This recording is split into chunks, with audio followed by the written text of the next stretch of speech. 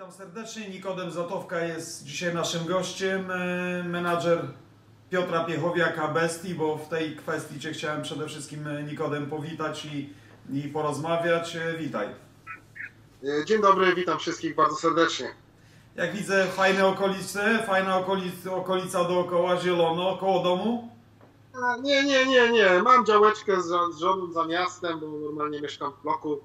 E, jak jest ładna pogoda, to oczywiście spędzamy ten czas sobie na działeczce. Czas spędzacie na powiedzmy odpoczynku, ale jak wyglądają sprawy zawodowe? Mam tutaj na myśli właśnie walkę Piotra Piechowiaka. Coś wczoraj się dowiedziałem z grubsza, że jest e, brany pod uwagę przez organizację Fame MMA, że ma walczyć e, prawdopodobnie, ale jeszcze chyba takiego ostatecznego sygnału nie macie. Jak to Nikodem wygląda w tej chwili? Nie, nie mamy jeszcze podanych ani takich, wiesz, e, całkowitych szczegółów, czyli z kim Piotrek ma zawalczyć i, i, i, i kiedy, tak? To jeszcze jak gdyby nie jest do, dopięte cały czas, jak gdyby ustalamy to e, z włodarzami e, MMA. No oczywiście, wiesz, zależy to jest od tego też, co się aktualnie dzieje, tak? No wyszło, że do Fame MMA zawitał bardzo znany polski raper, tak? Czyli Popek. Popek Rak. e, Jest to doświadczony zawodnik, jeżeli chodzi o MMA, tak? Bo z tego, co się orientuję, to chyba ma 7 walk stoczonych, tak? No chyba Tak, 3-4 Trzy wygrałem, rekord. cztery Tak. porażki, czy, czy odwrotnie, cztery wygrałem, trzy porażki, coś takiego, Mhm. z tego co pamiętam, więc yy, no my uważamy, że Piotrek wszedł yy, do Fame MMA z hukiem, tak, bo pokonał yy, pięściarza, yy, Marcina Najmana, tak. To jest w tej chwili uważamy jego terytorium. Popek zawitał na jego terytorium, no samiec alfa może być tylko jeden, więc jak gdyby tutaj naszym planem jest oczywiście, nie będę tego ukrywał, yy, Popek Rak. Czyli e, rozumiem, że mierzycie wysoko, bie- bierzecie pod uwagę doświadczenie rywala, ale bierzecie też w uwagę e, skalę popularności, no bo e, co by nie powiedzieć, e, poprzez walki w KSW, poprzez w ogóle swoją działalność powiedzmy pozasportową, e, Paweł Mikołajów, e, Popek Rak e, ma no, zbudowaną bardzo dużą społeczność wokół siebie. E, Liczycie na to, że kolejne nazwisko gdzieś tam spadnie e, spadnie mm, z piedestału, można tak powiedzieć, no bo, bo oczywiście tutaj nie biorę pod uwagę jakby bilansów i tak dalej, tylko mówię o tej skali popularności. Na to liczycie? Nie no, oczywiście tak, no przede wszystkim patrzymy tutaj na, na, na popularność Popka, tak, no wiadomo, on ma z, że, ogromną rzeszę fanów, tak, jest bardzo rozpoznawalną osobą, tak, więc tutaj wiadomo, ta walka by się e, na pewno bardzo dobrze sprzedała, tak, no ale e, patrząc na to w ten sposób, Marcin Najman też e, jest bardziej, był przed, przed, Piotr, e, przed pierwszą walką z Piotrkiem, był bardziej doświadczony od Piotrka, to on był brany za, za faworyta tej walki, No tak. a jednak walka mm, e, poszła w naszą stronę, tak? Tutaj nie ukrywam na Marcin, no, naprawdę, ja myślę, że on teraz e, w swojej następnej walce pokaże to, czego się nauczył, tak? Bo, bo, bo uważam, że nauczył się u Damiana naprawdę dużo, no ale Piotrek nie... Znaczy pokazał to w walce z Piotrkiem, bo wybraniał, o- wy, wybronił obalenia Piotrka, co powtarzam od tamtej pory chyba już w każdym wywiadzie, tak? Także, no tak jak mówię, no był, był, był brany wtedy Najman za, Marcin Najman za faworyta. Teraz na pewno byłby też brany za faworyta, choć już nie tak bardzo pewnie. Em, Paweł Mikołajów, czyli Popek, tak? Ale myślę, że tutaj Piotrek jest taką osobą, że wydaje mi się, że, że z Popkiem poradziłby sobie jeszcze szybciej niż, niż z Marcinem Najmanem. Tak. Ja, ja tutaj zastanawiam się nad jedną taką, jakby takim wyborem też, przed którym stoją pewnie włodarze Fame MMA, że gdyby, gdyby Piotrek przegrał pierwszą walkę, to prawdopodobnie już tej drugiej mógłby nie dostać. Natomiast tak, wygrał jedną, teraz y, staje naprzeciw Popka. Y, No i jeśli wygra, y, załóżmy, stanie się dość popularną postacią. Czy na tyle popularną, że organizacja postawi na niego i tak naprawdę to rywali będzie dobierać pod niego, że on będzie tą flagową postacią? Wiesz o czym mówię? Znaczy nie wiem, no wydaje mi się, że jednak włodarze e, na pewno od samego początku postawili na Piotrka, tak? Po pierwszych spotkaniach z Piotrkiem, Mhm. po rozmowach telefonicznych z nami, zobaczyli, że Piotrek jest e, też dość e, kolorową, kontrowersyjną osobą, tak? Wiedzieli, jak chcemy Piotrka przedstawić e, e, za pierwszym razem, no dali mu na tyle, tyle zaufania, że pozwolili mu pierwszą walkę stoczyć ze zwycięzcą walki Bonus Najman, czyli jednak z osobami, jeżeli chodzi o Fame MMA, to no to bardzo rozpoznawalni, tak? Także wydaje mi się, że tutaj od początku włodarze uwierzyli w Piotrka, wierzą w niego. Po wygranej z Marcinem Najmanem na pewno e, ta wiara tylko się umocniła, tak? Bo tutaj Piotrek pokazał, że, że, no, że przyszłość, jeżeli chodzi o Fame MMA, to najbliższe 3-4 lata należą do niego. Ja z kilku rozmów, które miałem z Piotrem, to tej kontrowersyjności nie dostrzegam. To jest tak sympatyczny facet, z którym naprawdę usiadłbym w każdym momencie i sobie gadał o sporcie, bo, bo on taki jest, że no, to jest swój chłop, tak? Taki, że wiadomo, on nie, nie jest jakby powiedzmy mm, gburowaty, nie jest opryskliwy, tylko to jest sympatyczny facet, z którym każdy chce porozmawiać. Jak z, taką, mm, z takim jakby mm, anturażem budować tą popularność? Bo wiadomo, popularność Fame MMA opiera się na mocnych słowach, mocnych wyzwaniach, cały czas takim jakby E, trash talku to jest jedna rzecz, ale też czasami hejtowaniu, czy ta postać jest hejtowana, czy nie jest hejtowana. Z tego co ja zauważyłem, to Piotrek absolutnie nie jest hejtowany. Jeśli są, to są jakieś sporadyczne przypadki. Nie, no, powiem tak. No, na początku, żeby jak gdyby wejść w ten świat i tak dalej, no to powtarzam się po raz kolejny, no ale te nasze kontrowersyjne wejście na Fame MMA piątce, tak, no było zrobione przede wszystkim po to, tak, żeby w tym świecie zaistnieć. W tej chwili już nie musimy tego robić, możemy pokazywać, jacy jesteśmy naprawdę. A plan jest taki, no, e, Piotrek ma przekładać swoje słowa w czyn. Czyli tak jak przed walką z Marcinem powiedział, że da radę z bardziej doświadczonym, chociaż wtedy naprawdę nikt praktycznie nie wierzył, dokonał tego. Teraz mówimy, że jeżeli Popek wszedł na jego terytorium, to, to Piotrek pokona go jeszcze szybciej niż Marcina Najmana, albo przynajmniej no, tak samo szybko może powiedzmy w bardziej efektowny sposób o tak. E, no i jeżeli znowu tutaj słowa przekuje w czyny, to no, oczywiście zdobędzie sobie jeszcze większe zaufanie wśród, wśród fanów, tak? Będą wiedzieć, że to nie jest osoba, która rzuca słowa na wiatr i no mi się wydaje, że trzeba w ten sposób już budować sobie tutaj jak gdyby, e, zaskarbić sobie tutaj jak gdyby e, tych wszystkich naszych, e, wszystkie osoby, które nas oglądają, tak? Kibicują nam, czy tak jeszcze w tej chwili są osoby, które które nas nie lubią, hejtują, ale myślę, że to się nigdy nie skończy, że to jednak w, w obecnych czasach jest to jak gdyby normą, tak? Zawsze ma się przynajmniej tam jakiś procent tych hejterów, tak? Także nie liczymy na to, że wszyscy będą nas e, kochać, tak? Nikodem, e, powiedz mi, bo e, to doświadczenie Popka, no, można mu wiele rzeczy zarzucić, ale na pewno nie tego, że on e, nie wyjdzie do walki i nie stoczy tej walki. I zawsze tą walkę, jakby nie patrzeć na jego pojedynki, wygrywał, przegrywał, ale on się bije. Bije się, e, umie tak, się bić.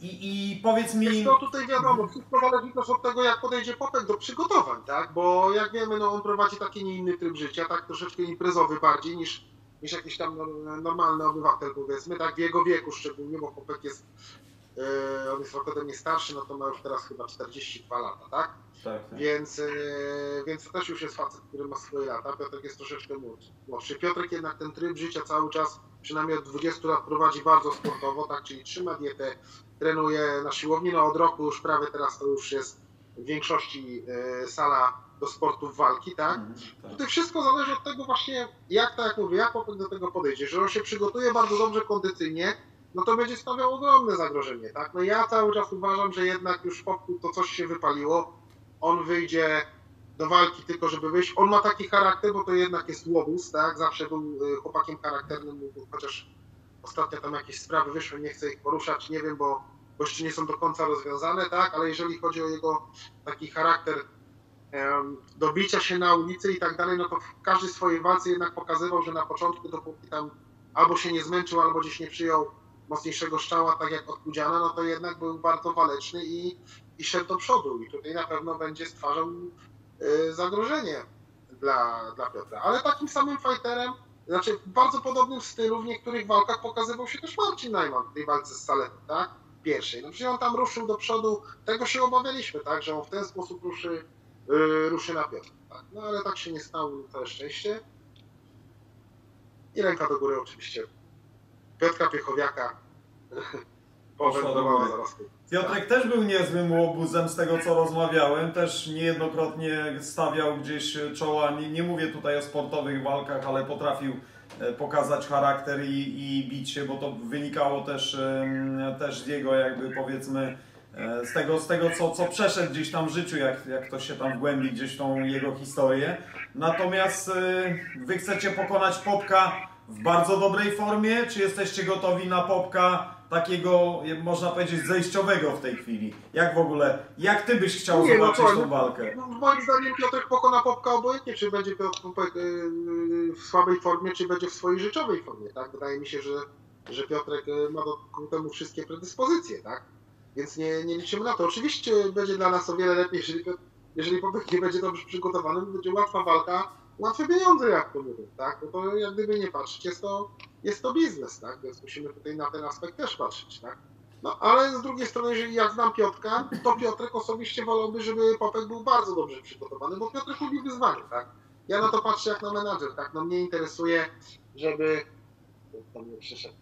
Mnie interesuje, żeby, żeby e, wiesz, żeby Piotrek zarobił jak najlepsze pieniądze w jak najłatwiejszy sposób. No, to, to jest też łatwy, to jest też dobry plan. E, powiedz jak, em, na ile te pieniądze z ostatniej walki pomogły Wam, Tobie? E, to oczywiście menadżer ma swój procent, ja Cię nie pytam o, ten procent, ale oczywiście tutaj na ile Wam pomogły w tym trudnym okresie, bo Piotrek powiedział, że mm, no wiadomo, siłownia była zamknięta, on prowadzi klub, e, troszeczkę problemów było, na szczęście, tak jak powiedział, wpłynęły te pieniądze, to są na tyle pieniądze, że, że duże, że po prostu dają możliwość utrzymania na przykład takiego przedsiębiorstwa czy pomocy sporej. Jak, jak ty w ogóle do tego podchodzisz? Nie, no tak oczywiście wiadomo, no Piotrek tutaj otrzymuje dużo większe pieniądze jak ja, bo ja tak jak mówi, mamy jakiś, mam, mam tam jakiś procent tylko z tej gazy Piotrka, tak? Więc tutaj dla Piotrka był to na pewno jakiś zastrzyk gotówki, chociaż z tego co wiem, Piotrek e, stałe koszty miesięczne ma dosyć duże, więc też nie była, znaczy była to suma, która na pewno, na pewno bardzo mu pomogła, tak? Jeżeli chodzi o, o ten mu procent, oczywiście tak, też mi pomógł, tak? Bo w tym okresie, e, akurat to było w tym że okresie, kiedy była ta najgorsza kwarantanna, kiedy wszystkie biznesy były praktycznie pozamykane, usługi i tak dalej, i tak dalej, tak? Także było to jak, było to bardzo przyjemne, tak? Jak Piotrek wysłał mi, mi przelew, tak? A jeszcze najlepsze, że wysłał mi go w dniu moich urodzin, tak? Bo akurat dostał w tym, czasie, w tym czasie pieniążki, tak? Że był to e, fajny dzień dla mnie. Tak? Rozumiem. Rozumiem. Ten aspekt finansowy jest ważny. Wy w ogóle e, macie ustalony ten, to znaczy z tego co Piotrek wczoraj mi opowiadał, powiedział, że są trzy walki, które on musi stoczyć i będziecie, jeśli na przykład załóżmy będzie ten wariant e, pozytywny, wszystkie trzy na przykład Piotrek e, wygra, wy wtedy siadacie do zwiększenia garzy, do jakiejś jakby to powiedzieć, renegocjacji, czy otwieracie zupełnie nową kartę sobie i, i w tym momencie mówicie, mam trzy wygrane walki, mam zawodnika, który ma trzy wygrane walki, y, to jest taki i taki pułap, pułap pieniężny, czy raczej chcecie się trzymać organizacji, to co organizacja zaproponuje, bo to jest na przykład już na tym etapie na tyle dobre pieniądze, że w sumie to nie ma się już co targować. Jak to w ogóle wygląda od kulis? Co, powiem Ci tak, nie chciałbym aż tak daleko wybiegać w przyszłość, bo jednak tak jak mówisz, Piotrek ma kontrakt w tej chwili na trzy walki. Dla organizacji Fame MMA stoczył dopiero jedną, teraz druga jest kontaktowana, e, no myślę, że będzie e, do końca roku odbędzie się ona, tak? Tą trzecią raczej podejrzewam, że będzie ona już raczej w 2021, bo, bo nie wiem, no mam nadzieję, że uda się jeszcze, tak? Dwie walki w tym roku skończyć i, i myślę, że dopiero wtedy e, zobaczymy, jak to się wszystko potoczy, tak? Bo to też zależy jest od tego, z kim Piotrek będzie walczył, czy te walki wygra, czy je przegra, tak? I potem będziemy oczywiście rozmawiać z włodarzami Fame o tym, y, czy chcieliby, żeby Piotrek dalej był w ich organizacji, o przedłużeniu kontraktu, czy być może pojawią się jakieś y, inne oferty, tak? Choć nie mówię, oczywiście w pierwszej, pierwszą, w pier, pierwszej kolejności oczywiście będą zawsze e, do rozmów włodarze Fame.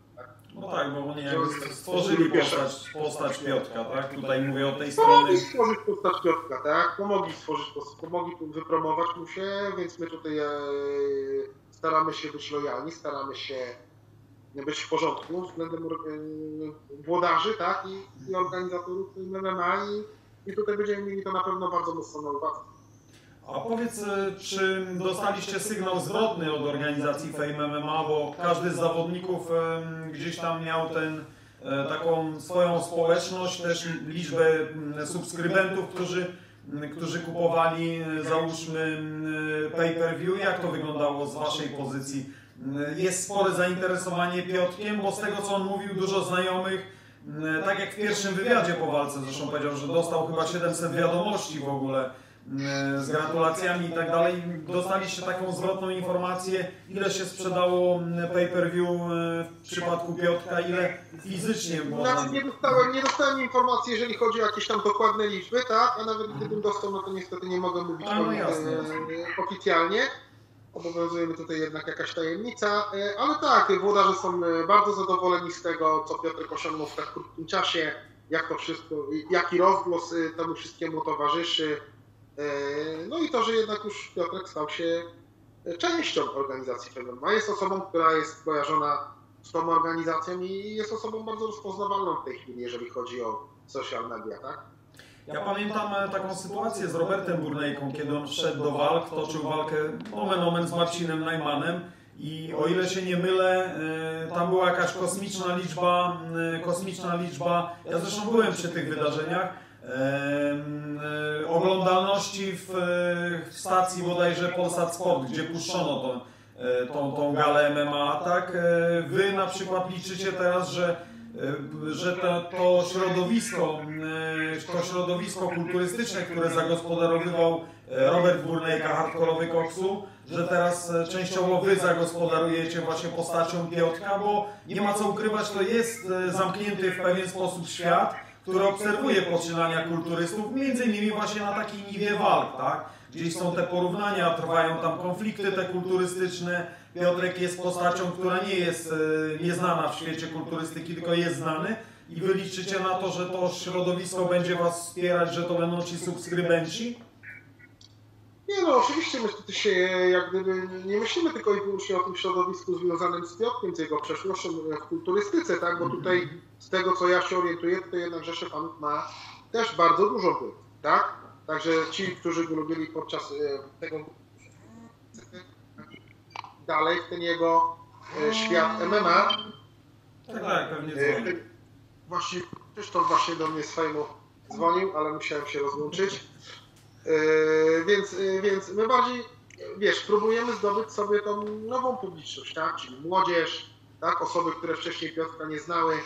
E, A taki kulturysta, czyli taki duży polski chłop, że tak powiem w cudzysłowie, od czasów Mariusza Pudzianowskiego, który miałby wygrywać w MMA w Polsce w kilkowych walkach, no dawno się nie pojawił, tak? Próbował Radek Słodkiewicz, mu nie poszło. Robert Burnejka co prawda wygrał tam walkę, ale z Popkiem przegrał tą walkę, tak? Też ostatnio, no i widać, że on jak gdyby w tym kierunku nie poszedł, nie skupił się na tym, tak? On to robił bardziej dla show. No Piotrek ma tutaj jak gdyby inne priorytety, on chciałby on chciałby zrobić coś więcej, tak? Jeżeli chodzi o frikowe MMA, tak? Bo tutaj się nie oszukujmy, jeżeli chodzi o takie prawdziwe zawodowe MMA, być może kiedyś Piotr wskoczy jakąś walkę, tak? Do jakiejś tam organizacji na zasadach zawodowych, ale to będzie po prostu jakiś jednorazowy taki epizod, bo nie oszukujmy się, no Piotrek już jest za długo siedział w sportach siłowych, tak? Yy, I już ma swoje lata, tak? Już ma swoje lata. Tak? Czyli to, co się nauczy, to to poprawi, to myślę, że na, na Fame MMA yy, wystarczy w zupełności. Tak? Zamykając temat Piotrka już na koniec, e, bo, bo jeszcze chcę parę, jeden albo dwa tematy z Tobą poruszyć, ale zamykając temat Piotrka, e, patrząc na jego, na jego jakby dokonania tutaj e, w organizacji Fame MMA, e, Ty liczysz, że to będzie na, na przykład następny kontrakt będzie bardzo długi? Wiesz co, yy, nie chciałbym się tutaj wypowiadać w tym temacie, bo ja wiem, że tu jeżeli chodzi o ten ko- kolejny kontrakt Piotrka dla Fame MMA, jeżeli dojdziemy do porozumienia jakiegoś z włodarzami, no to, no to też będzie zależało od tego, co oni z nami ustalą. Tak? Ja nie powiem, no wiadomo, że z Piotrkiem byśmy, yy, gdyby miał Piotr, kontakt Piotr, yy, przepraszam, kontrakt Piotrek na przynajmniej 5 lat, tak? I zawarty, że ma przynajmniej 2-3 walki w roku, no to ma spokój, wie, że na 5 lat zaplanowane i tak dalej. Tak, tak, tak. Tak. to mówię, to wszystko zależy od, e, od włodarzy i właścicieli, tak, e, Fame MMA i będziemy to ustalać z nimi dopiero po zakończeniu się tego kontraktu, który, który mamy w tej chwili. To jeszcze ostatnia opcja już, już do, dotycząca Piotrka. Jeśli nie Popek, to kto? Jeśli Popek, to kto? Nie wiem, będziemy pewnie prze, przekadywać, to, rozmawiać, przepraszam, rozmawiać na ten temat e, z właścicielami organizacji. e, i ustalimy coś na pewno tak fajnego, żeby spodobało się to. Ale tak jak mówię, no w tej chwili dla, dla nas priorytetem jest, e, jest Pa- Paweł Mikołajów, tak, czyli, czyli raper pop. Jasne. Powiedz e, Nikodem, bo ty nie jesteś przypadkową postacią w sportach walki, może, wie, może nie jesteś tą najbardziej nagłośnioną e, postacią, e, ale, ale tak jak żeśmy rozmawiali, bo ja też szczerze mówiąc zapomniałem w pewnym momencie, mówię skąd ja z faceta znam, tak? Poznaliśmy się w 2009 roku przy okazji gali e, Profight e, w Olsztynie, kiedy wiele, wiele znaczących... nazw- 2008. 2008. 2008, o tak, dobrze, 2008, tak. Pamiętam wtedy na Profajcie i wiele znaczących postaci tam było. Mi, mm, e, Michał Materla, e, Damian Grabowski, Karol Bedorf. e, No przyjechali też jeszcze obejrzeć nas wtedy wła- właściciele KSW. KSW, tak, tak, pamiętam, to też Tak, dokładnie. tak. Znaczy, przynajmniej z tego co pamiętam, ciekawe Kawulski. Kawulski Był był, tak. Ostatni profil, który robiłem razem z Pawłem Klinkiewiczem. E, pomagali nam jeszcze wtedy trenerzy Arachiona, tak, czyli Paweł Derlacz i Szymon Bąkowski. No, to był ostatni raz, kiedy robiliśmy, potem ta organizacja została wykupiona przez inną osobę, która jednak nie pociągnęła tego dalej w odpowiedni osób, sposób. I A no właśnie to robiliśmy jeszcze X-Cage, tak. O właśnie, no właśnie, też między innymi.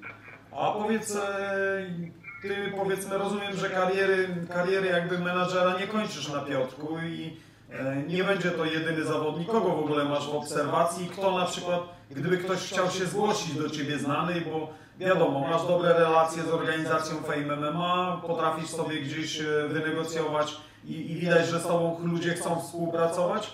E, Co ty możesz e, powiedzieć o kolejnych zawodnikach, o tym, czy będziesz szukał, czy ewentualnie zgłaszają się sami? Jak to w ogóle wygląda? No jest grono pewnych osób, które są bardziej lub mniej, mniej tam mniej znane, a chciałyby zawa- spróbować swoich sił właśnie w, w MMA, wiadomo nieprofesjonalnym, bo na co dzień e, nie trenują, zgłaszają się tam do mnie.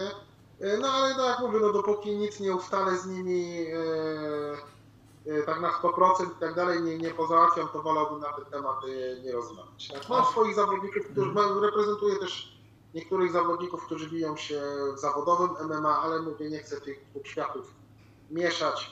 Yy, No nie ukrywam, przyszedłem do, do MMA, bo tutaj pieniądze są dużo, dużo większe niż, yy, niż w tym zawodowym. Ty celujesz w te postacie znane, na przykład jeśli teraz zdecydowałbyś się na współpracę z kimś, to wziąłbyś kogoś bardziej znanego, czy raczej jesteś takim twórcą, powiedzmy właśnie tak w przypadku Piotka, e, bierzesz chłopaka, który jest powiedzmy znany gdzieś w określonym środowisku, ale kolejne jakby ruchy powodują to, że za, ludzie zaczynają się nim interesować i wprowadzasz go na, można powiedzieć, te salony, czy Fame MMA, czy innych organizacji, tak? U mnie to wygląda troszeczkę inaczej. Ja nie kieruję się takimi kryteriami, czy ktoś jest bardziej znany, czy nie. Ja muszę z tą osobą najpierw nawiązać jakiś tam kontakt, porozmawiać.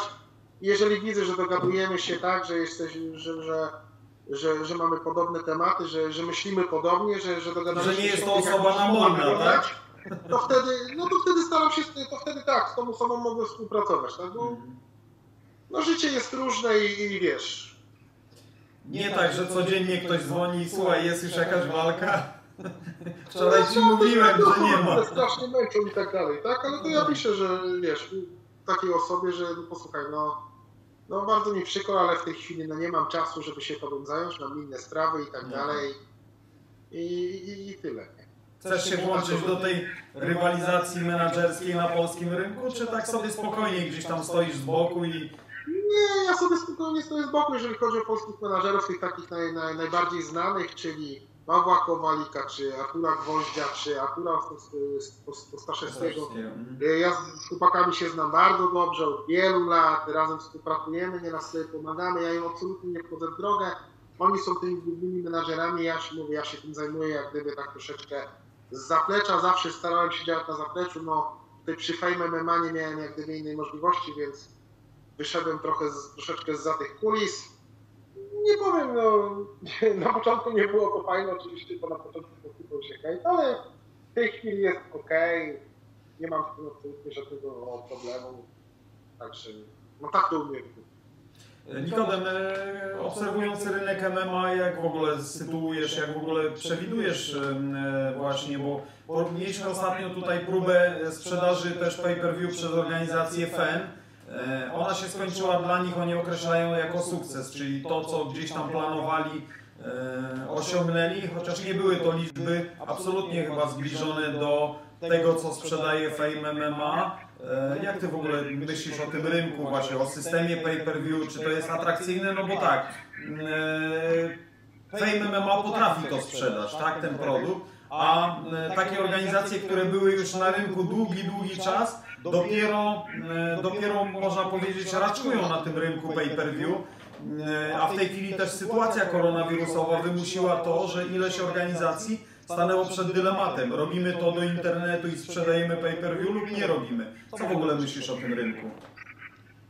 No, no wiesz, że w tej chwili, jeżeli chodzi o rynek sportów walki, w ogóle o show biznes na całym świecie, tak, przez tą sytuację, jaką mamy związaną z, z pandemią koronawirusa, no, no zrobił się dość nieciekawy, tak. Tutaj mają niestety właściciele organizacji, włodarze organizacji, no mają tutaj przed sobą bardzo duży problem, bo większość z nich bazowała w tej chwili i na sponsorach, i na sprzedaży biletów też, tak. Wiadomo, jeżeli nie idzie jakiś biznes, to mi sponsor wysokuje pieniądze. Ja wiem, bo rozmawiałem z wieloma zawodnikami MMA podczas tej kwarantanny, tymi zawodowymi, którzy mówili, że sponsorzy w tej chwili też przestali im płacić te pieniądze, które im płacili, bo ich biznesy stoją. Yy, No co, no, jedyne co mogą, mogą zrobić w tej chwili właściciele wszystkich organizacji, no to skupić się właśnie na tym, żeby sprzedawać e, pay-per-view w internecie, czy, czy, czy, czy za pośrednictwem jakiejś stacji telewizyjnej. I jak to będzie wyglądać, nie wiem, no każdy musi znaleźć na to jakiś sposób, tak? Mieć na to swój pomysł. Wydaje mi się, że tutaj bardzo dużo e, bardzo dużo federacji może brać, zacząć brać przykład właśnie z, z, z, od włodarzy takich organizacji jak Fame MMA, bo nie ukrywajmy, tutaj ta sprzedaż pay-per-view jest naprawdę bardzo wysoka, tak? A nie mają żadnego wsparcia, że ani telewizji, ani żadnego innego takiego zaplecza. Oni są jak gdyby sami sobie i dają sobie świetnie radę, tak? Więc... No Właśnie chciałem Cię też dopytać, bo e, to jest też tak, że, że powiedzmy ten klient w Polsce był bardzo rozpieszczony. E, On chciał otwartej telewizji, on chciał wszystko za darmo i nagle, nagle e, okazało się, że m, mimo, że utys, utys, utyskiwali na to, że trzeba zapłacić, jak to jest możliwe, chcemy dobrych walk, chcemy nie wiadomo jakich nazwisk, ale nie chcemy za to płacić, tak? E, Znaczy wiadomo, że w pośredniej formie w jakiś tam sposób się płaci, no bo chociażby abonament telewizyjny, tak? Ale to jest pośrednia forma i ona jakby nie dotyczy, nie dotyczy tego rynku.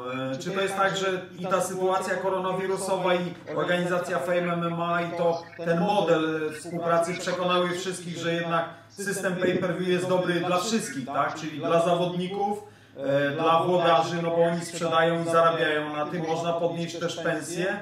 E, Czy kibic powinien płacić właśnie w ten sposób e, za to, co chce, za swoją ulubioną dyscyplinę, za ulubione postacie? Wiesz co, powiem Ci tak, przede wszystkim jeżeli chodzi o zawodników, to wydaje mi się, że jednak ten system czystego pay-per-view, bez widzów na, na, na danym obiekcie, gdzie odbywa się akurat gala, nie jest zbyt dobry, bo wiem, że zawodnicy, dużo, nie wszyscy, ale większość raczej zawodników e, czerpie energię z tłumu, tak? E, lubią, wiesz, jak słyszę te okrzyki, jak, jak, jak im kibicuje i tak dalej, to jednak ich podnosi im troszeczkę bardziej uczucie adrenalinę i, i czasami powoduje, że te występy są bardziej e, żywiołowe, tak? Znaczy te walki, tak? E, W tej klatce są bardziej żywiołowe. Więc tutaj z tym, z tym jednym być może bym się tak nie do końca zgodził, tak? No ale cała, no słuchaj, mamy, wszystko, wszystko uwarunkowane jest w tej chwili właśnie tą pandemią koronawirusa, tak? No bo w tej chwili organizatorzy nie mają zbyt dużego wyjścia, bo robić event tam na, na kilkaset osób, tak? No to to po prostu wydaje mi się, że tam nie będą się te cyferki im zgadzać, tak? Bo to i tak musisz wynająć nagłośnienie, oświetlenie odpowiednie, ochronę e, i tak dalej, i tak dalej. Zupełnie tak. inaczej pewnie to wygląda, jeżeli są tylko zawodnicy z narożnikami, tak jak było w wypadku Fame MMA 6, tak? No ale to też są inne zarobki, tak? Bo nie sprzedajesz jednak już tych biletów, sprzedajesz tylko pay per view. Tracisz część sponsorów, tak? E, Na pewno, albo sponsorzy nie chcą płacić już tyle samo, tak? Także no jest to, no jest to nieciekawe, ale myślę, że w ciągu roku, dwóch to wszystko się jakoś unormuje, znajdziemy, wo- włodarze znajdą na to sposób i, i wszystko ruszy, ru- ruszy do przodu. Tak ludzie, ludzie, nasze społeczeństwo polskie też się zmienia. Tak ja pamiętam 10 lat temu, e, jak wychodziłem z żoną e, w niedzielę do restauracji, no to były zajęte, tak jak u nas w moim mieście, to był zajęty jeden, maksymalnie dwa stoliki, tak? Bo jeszcze nie byliśmy nauczeni, tak jak na zachodzie, wychodzić do restauracji, No jasne. obiady jadły się w domu, tak? W tej chwili jak wychodzisz, no to trzeba ten stolik raczej wcześniej rezerwować, tak? Bo już są wszystkie zajęte i to samo mi się wydaje będzie z pay per view, tak? Że na początku będzie to troszeczkę ciężej szło, ale potem, no, jeżeli ktoś będzie chciał obejrzeć swoich idoli, tak? Lub nie wiem, czy, czy jakiś tam inny sport, no to zapłaci tej pay per view, żeby, żeby móc y, ich oglądać. Tak? Wiadomo, że wszyscy zawodnicy i włodarze i, i, i cała ta otoczka to są, to są potężne pieniądze, to są duże koszta i, i trzeba na to znaleźć yy, odpowiednie środki finansowe. To tak jeszcze dopytam e, dwie, dwie sprawy, które się w międzyczasie mi nasunęły. Po pierwsze, ciężej będzie e, budować lokalne gwiazdy oparte o kibiców, kiedy ściągało się zawodnika, czy ściągano zawodnika dostosowanego do stylu e, na przykład gospodarza, tak, i pod niego tego rywala, żeby broń Boże nie wygrał, bo wiadomo, że ktoś zawsze gdzieś mógł to przekalkulować i skalkulować. E, I chciałem Cię zapytać jeszcze o drugą sprawę, o cenę idealnego e, pay-per-view na dzień dzisiejszy. Czy to jest 20 zł, 25 czy 30? Jak to w ogóle e, Twoim zdaniem podzielić? Bo na przykład mm, organizacja Fame MMA ma, ten, ma dość nisko skalkulowany tę, tą kwotę. A dostarcza, mogę powiedzieć, ten, jeśli chodzi o takie zainteresowanie, produkt najwyższej, powiedzmy, rangi, tak? Mówię o zainteresowaniu, nie mówię tutaj o sportowych aspektach. I gdyby na przykład dzisiaj podniosła na 30 zł, czy byłby to jakiś problem? To oczywiście wiem, że to częściowo nie jest pytanie też do Ciebie, ale pytam Ciebie jako fachowca e, na tym rynku. Wiesz co, no to, to powiem Ci tak, no ciężko mi jest tutaj e, wypowiedzieć w, w tym temacie, bo wydaje mi się, że tutaj jednak wszystko e, to jednak widzowie, tak? Tutaj e, od, odpowiedzą kupując te pay-per-view lub, lub, lub nie kupując, kupując w danej cenie, tak? Czy ono im pasuje, czy im nie pasuje, tak? Bo zauważmy, że jedna federacja może mieć pay-per-view powiedzmy na, na wysokości powiedzmy 20 zł i bardzo fajną, ciekawą kartę walk e, patrząc ze strony sportowej, a nie sprzeda tego więcej jak powiedzmy 50 tysięcy, a inna organizacja będzie miała mniej sportowe widowisko, e, pay-per-view około 40 zł, a sprzeda tego 10 razy więcej, tak? Więc jak gdyby tutaj chyba nie cena jednak, nie, nie cena tutaj jak gdyby powoduje to, czy ktoś kupuje te pay-per-view, czy nie, tylko, tylko to na, na jakie widowisko kupujesz to tak? Jeżeli to jest coś, co chcesz zobaczyć, to zapłacisz więcej, tak? Jak z kosmetykami u kobiety. No tak, dokładnie. A jeśli chodzi o cenę taką idealną, no jak Ci się wydaje? E, powiedzmy, no do tej pory te pay-per-view na przykład w wykonaniu KSW było 40 zł, teraz ostatnio obniżono, tak? Ale to jest dobra cena na polski rynek? Wydaje mi się, że to jest odpowiednia cena, tak? Właśnie wydaje mi się, że pay-per-view powinno os- oscylować między 30 a 40 zł, tak? W zależności od tego, kto jest na karcie walk, tak? No bo wiadomo, drożsi zawodnicy to są wyższe koszta, tak? Zorganizowane zawodnika. I tak, tak jak mówię, między 30 a 40 zł, to myślę, że to jest cena taka, e, no, która nie będzie zbyt wygórowana, tak? Dla, dla, dla polskiego odbiorcy. To jeszcze na koniec e, jeszcze jedna rzecz e, dotycząca, e, jakby, żeby zamknąć ten temat, bo wiele lokalnych gwiazd i polskie MMA budowało się poprzez lokalne eventy, tak? I tych eventów dzisiaj te eventy się nie sprzedadzą w systemie pay-per-view, bo one mają ograniczoną jakby liczbę subskrybentów, ograniczoną liczbę widzów. Co zrobić teraz, żeby to MMA się utrzymało, bo ono dostarczało naprawdę wiele, wiele gwiazd. No ja sam pamiętam e, wiele takich e, postaci, które tworzyły się poprzez lokalne gale i nagle pojawiały się w dużym, wielkim MMA, jak na warunki polskie oczywiście, tak? Nie, no tak, tutaj masz rację, tutaj obawiam się, jeżeli chodzi o te zawodowe, tak, MMA, bo, bo o tym w tej chwili mówimy, tutaj obawiam się, że jednak e, ta sytuacja związana z pandemią w tej chwili ograniczy e, robienie tych mniejszych gal, na którzy zawodnicy jeszcze mniej znani mogli nabijać sobie rekordy, tak, próbować swoich sił, zdobywać nowe doświadczenie. E, no tutaj te gale raczej nie będą, one, one w systemie pay-per-view oczywiście nie mają szans, tak. Tutaj raczej to się nie sprawdzi. One nie mają takiej reklamy, nie mają takiego rozgłosu.